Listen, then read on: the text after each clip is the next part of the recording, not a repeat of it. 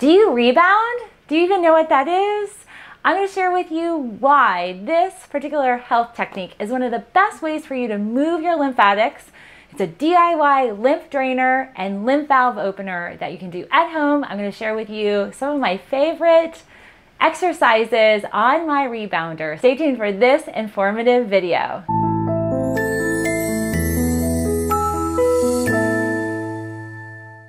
Welcome friends, I'm Dr. Melissa Gallagher and today's a casual day here at Natural Health Resources in our studio because I'm going to share with you rebounding. I'm gonna get on my rebounder. I wanna showcase for you some rebounding exercises to get you started on your rebounding lymph moving, lymph motivating journey. I have had hundreds of questions from you guys about rebounding and I'm really excited to take this camera right on over to our studio. Welcome to my rebounder. This is actually Gabriel's rebounder and so it's a little bit uh, structured differently than some of the adult versions but this has a handle on the front.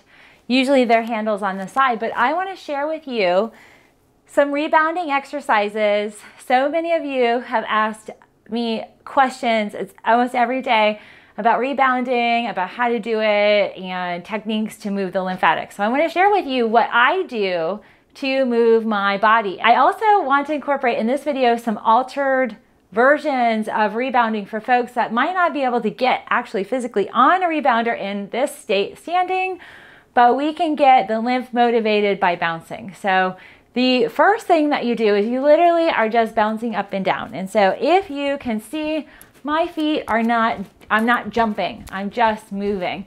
This force of moving up and down and the weightlessness that comes with rebounding on a trampoline, this actually is moving your lymph flow. But what it's doing is it's forcing the valves throughout the whole entire body to open. I will have shortness of breath as I do this, because it's moving the lymphatics. And so you can kind of feel things moving. So this is phase one. When you get on your rebounder, you just want to start slowly bouncing. If anything, your heels are picking up in the back, but you can literally just gently move up and down. That's step number one, moving up and down. Step number two is moving arms up. So it's kind of like jumping jacks. So move your arms up and down. Okay, so what that's doing is it's moving the axillary nodes, opening those up, helping move fluid in the arms.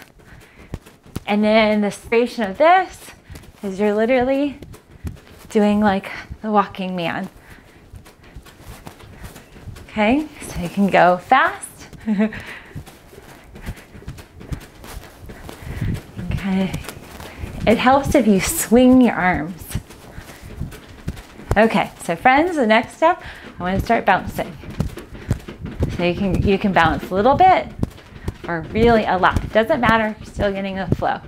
It is not uncommon for folks as we're doing this to feel like their bladder's filling because we're moving the lymph and that's how it exits your body. So we're bouncing up and down and up and down. And then you can do more arm exercises. You want to cross your arms in front of your body and that will get the lymph flowing in your arms. And you know what else rebounding does? It moves cellulite. So rebounding is one of the best ways to get toxicity out of your body through lymphatics. And 10 minutes on your rebounder is equivalent of a 50 minute run. It's not uncommon for you to also feel muscles burning. One of the things you will experience when you are rebounding is you are going to get your heart rate up. If you have any type of heart issues or heart conditions, this is something you want to slowly ease into. Usually I recommend rebounding for 10 to 15 minutes, but as you can hear, I've just done this routine. I'm winded. You might want to start with three minutes, then move to five, and then a week later move to seven, and then to 10, and then ultimately 12 to 15. But for anybody, rebounding is going to greatly impact your lymph flow. For individuals who might not be able to get on a rebounder and be stable on your feet, an altered version is to sit with your butt on your rebounder and bounce.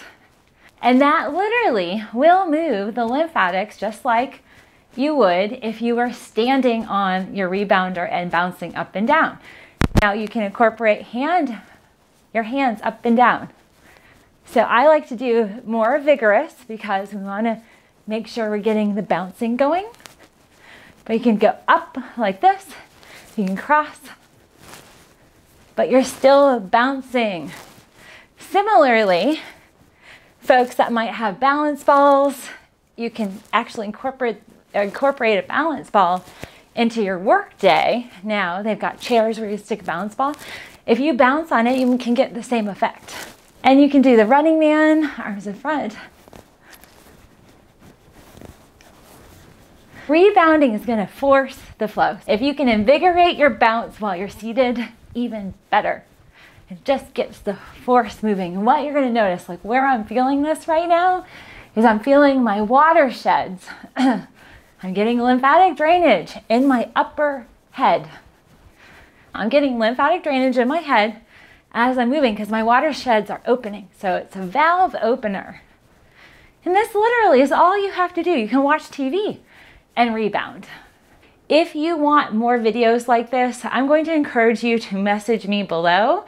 I can share with you some of my rebounding exercises that I do that's more cardiovascular in nature. But what I wanted to do today was share with you rebounding that will help move your lymphatics. Thanks everybody. I hope this video was helpful. If you want more like this, please message me in the comments below.